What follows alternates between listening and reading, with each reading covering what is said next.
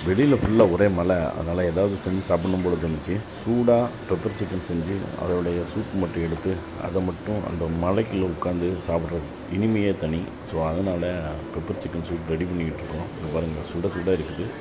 எடுத்துட்டு அப்படியே எடுத்துட்டு கொஞ்சம் அதில் போன் பீஸையும் எடுத்து போட்டு அப்படியே எடுத்து போய் சாப்பிட்டு மலையை ரசித்து பார்த்துட்டு சாப்பிட்லான்னு ஒரு ஐடியா